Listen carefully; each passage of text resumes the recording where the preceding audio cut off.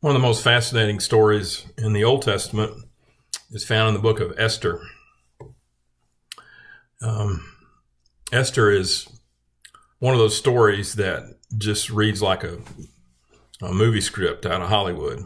It has a, a protagonist, an antagonist. It has a beautiful heroine. Um, it has um, great drama and um, some ironic twists. You may know the story really well, but there's a phrase in the book of Esther that comes to mind when I think about our circumstances here at Williams. And it's a simple phrase for such a time as this. Uh, if you've done much reading of that uh, book in the Old Testament, uh, you know that it's a, a story about a people who are in dire straits.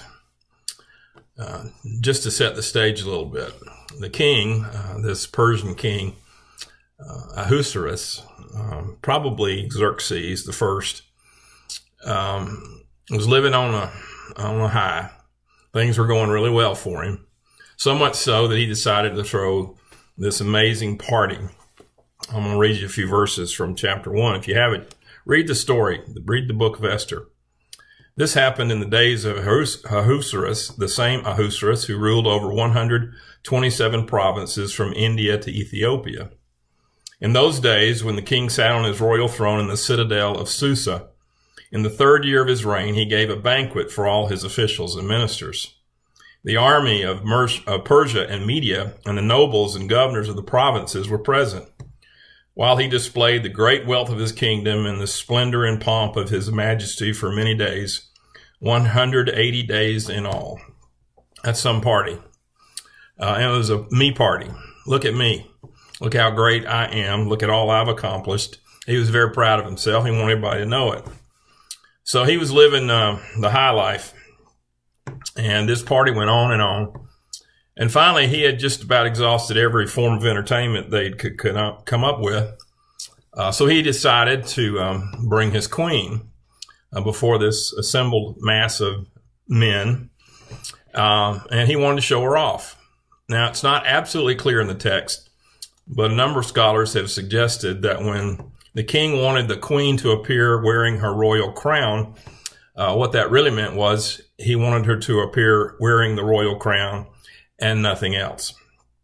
To her credit, uh, Vashti uh, refused to be uh, a sexual object, uh, refused to be humiliated, refused to be just used for the pleasure of these drunks uh, who, by this time, um, again, had found every other form of entertainment and thought this would be the crowning uh, moment. Um, she is much to be admired, and she's one who um, pays a price. She's banished. She's not allowed ever to come into the presence of the king again. Um, and she's just put out to pasture. Well, in the process of all that, it's really interesting. And again, I hope you'll read this story. But in chapter one, um, the advisors to the king say, listen, this is trouble because the word gets out that your wife has disobeyed you. That means all the other women in this empire will do the same thing. so they, they send out a letter to the various provinces in this widespread empire. Um, and in verse uh, 21 and 22, uh, the king is pleased with this advice. So they sent letters to all the royal provinces, to every province in its own script, to every people in its own language, declaring that every man should be master in his own house. So, guys, I guess um, this what this says is you have permission to be the master in your own house. But if you're smart, you make sure you get your wife's permission to be the master in your own house. Well, as the story continues, the king uh, looking around, he didn't have a queen any longer. So they decide to hold a royal beauty pageant. And that's where we are introduced to this young Jewish girl. The Jews have been in exile since the days of Nebuchadnezzar. They had been uh, cut off from their country and were uh, living in exile.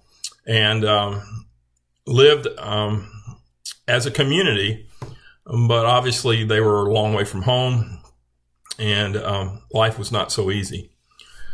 There was a man named Mordecai who was respected. He had risen to some positions of, of authority um, in the province. And um, he he um, had taken on this young Jewish girl. She was a relative.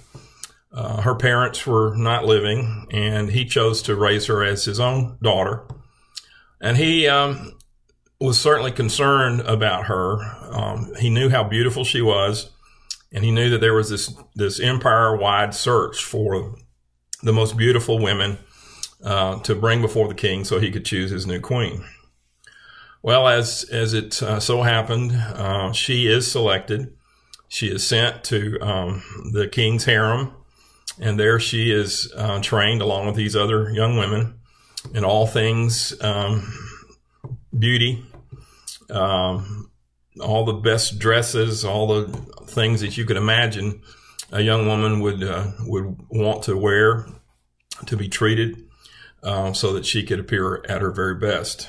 Uh, her best was good enough, so much so that the king uh, ends up choosing her to be his new queen.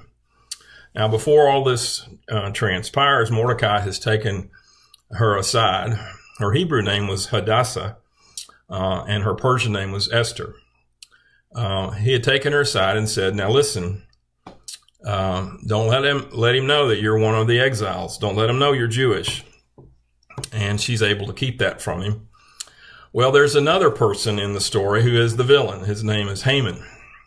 And if you know the story very much, you know he personifies all the bad guys you've ever seen on screen uh, or read about in stories. But Haman um, has a real high opinion of himself and has worked his way up to become prime minister. And as prime minister, he wants everybody to bow and scrape.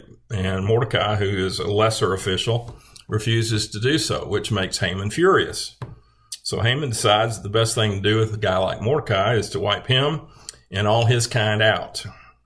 The Jewish people have known for centuries uh, oppression, they've known persecution. Um, and for this story, as it unfolds, it looks like yet another way for uh, the people of Israel to be uh, barbarically treated. Well, I can't keep going on because I'll take too long, but um, Mordecai does find out about a plot to assassinate the king and uh, sends word to the now new queen, Esther, who warns her husband that there is this plot. So the king remembers that, writes it down in the book of records uh, that Mordecai had, had worked to his favor. Well, Haman, who's still, still burning with contempt, um, wants to do away with Mordecai um, and they know it. They know he's up to no good. So he begins to manage to maneuver and uh, ends up being in a position where he can issue orders that all the Jews are to be exterminated. Well, it's at that point again that we get to the place where Mordecai, who's aware of the danger, um, goes to um, Esther and says, "Esther, this this is one of those moments where you can you can stand up, um, you can risk, you can choose to live um, in such a way that uh, you're willing to be brave, courageous, but you can't stay silent. For the, you have been put in this place for such a time as this. And if you know the story again, you know that uh, Esther is able to go to the king and risks even um, seeking an audience with him. Um, he has the right to put her to death if he chooses to, but of course he's enamored with his new queen. And when she appears before him, uh, he grants her a request. And the request is uh, to hold a banquet in his honor and to invite Haman. Well, this happens a couple of times. And finally, Esther, in one of those appearances, tells the king that there is someone who is working to do him ill as well as a people who do not deserve to be um, mistreated. And come to find out that Haman has ordered the extermination of the Jews. But on the very day that he's ordered that extermination, he is revealed as the true villain that he is.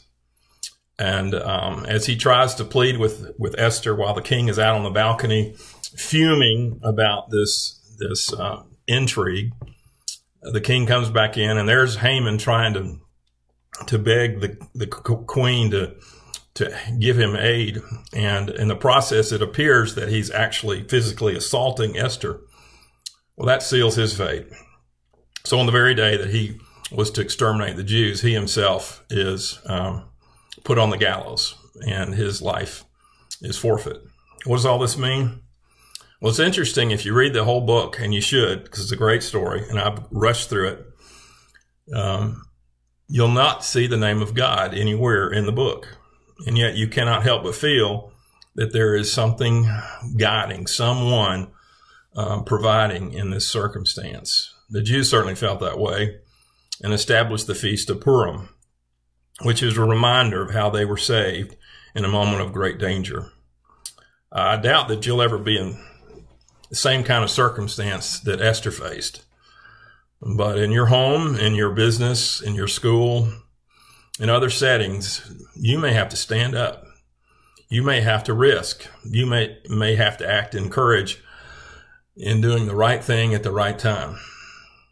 And know this, as Esther discovered, and so many others have, that in doing the right thing, you'll have the strength and the wisdom of the Lord to cur- encourage you, to strengthen you. Maybe that'll happen these next few days.